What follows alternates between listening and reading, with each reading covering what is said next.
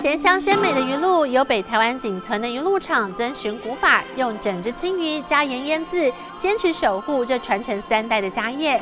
新竹一家工作坊把柿皮、柿果萃取发酵，做成柿染工艺的原料，让朴素的柿染变得利落又时尚。为了帮李爱父亲调养身体，林明璇提炼出清香无腥味的姜黄低基精，年营收突破三亿元。请锁定本周日的《台湾真善美》。